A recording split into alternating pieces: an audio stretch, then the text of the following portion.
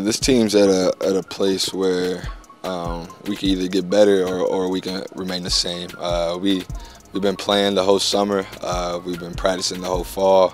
We had a lot of days where we was in the gym by ourselves, and uh, I feel like you know the guys got an idea of, of what they're supposed to do. It's a matter of uh, if our guys is going to work. And I feel like we got a bunch of guys that's, that's willing to work, a bunch of guys that, that want to work and be coached. And I feel like it's not going to be no problem. Um, obviously, the veterans got a chip on their shoulder from last year. They don't want to go back to the NIT tournament. And for the newcomer guys, I feel like they're happy to play with us just because of how well we gel with each other. Um, we all been uh, really just gelling together, so we're all just looking forward, including myself, to you know uh, start Wednesday and then uh, you know next week as well.